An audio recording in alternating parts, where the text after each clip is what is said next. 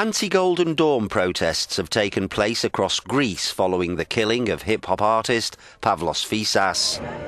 As tension stalks Athens, the Greek government, under fire from all sides, looks set to table emergency legislation to outlaw the group. Golden Dawn denies any involvement with the Fyssas killing. και για το συγκεκριμένο Golden Dawn has said that it condemns this specific tragic event and others. καταδικάζει κάθε πράξη βίας. It condemns every act of violence. Στους σύγχρονους ιερά- But this is not enough for the Holy Inquisition in 2013 by this bailout government. The funeral of the murdered 34 year old went ahead earlier in an atmosphere of fear, fury, and sadness.